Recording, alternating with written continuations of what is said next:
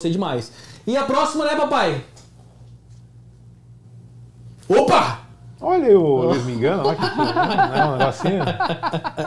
Cara, Luiz Miranda. nunca conversei com ele, sei que ele estava aí, ele tentou anunciar, quando na época eu tinha agência, tinha uma agência cuidando da minha carreira aqui, Uhum. tentou anunciar e eu neguei, porque não tinha nada a ver, eu sabia que tinha algo estranho no negócio dele. Uhum. E os processos que ele tomou eu já disse, dá pra dar 35 chineladas se der? Então manda bola.